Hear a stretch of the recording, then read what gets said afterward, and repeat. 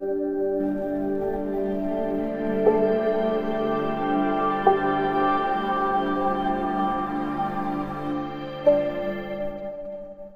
दोस्तों, मेरा नाम दिलीप मौर्य है। आज हम लोग इस वीडियो में टॉप छः प्रश्न डिस्कस करने वाले हैं, जो कि आगामी परीक्षाओं के लिए बहुत ही महत्वपूर्ण है। आप लोग से उम्मीद है कि आप लोग वीडियो को पूरा देखेंगे। अगर वीडियो में दी गई जानकारी अच्छी लगी तो वीडियो को लाइक करें और चैनल को सब्सक्राइब ज़रूर करें। तो चलो शुरू करते हैं।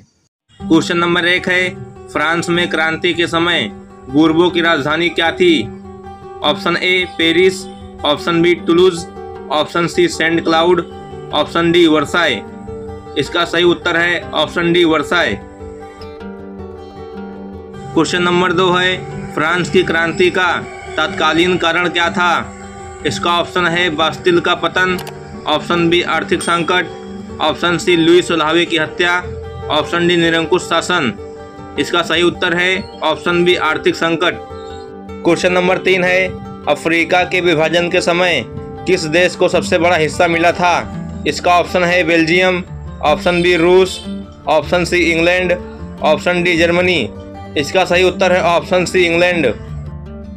Question number चार है, कागज़ सबसे पहले किस देश में बनाया गया था? इसका ऑप्शन ए है चीन, ऑप्शन बी है मिस्र, ऑप्शन सी है जापान, ऑप्शन डी है स्पेन। इसका सही उत्तर है ऑप्शन ए, चीन। क्वेश्चन नंबर पाँच है, किस देश ने अल्जीरिया को अपना उपनिवेश बनाया था? इसका ऑप्शन ए है France, option B Belgium, option C England, option D Italy. इसका सही उत्तर है option A, France. Question number छः है कृषि क्रांति सर्वप्रथम किस देश में हुई थी? इसका ऑप्शन ए है England, option B Germany, option C France, option D Spain. इसका सही उत्तर है ऑप्शन ए इंग्लैंड।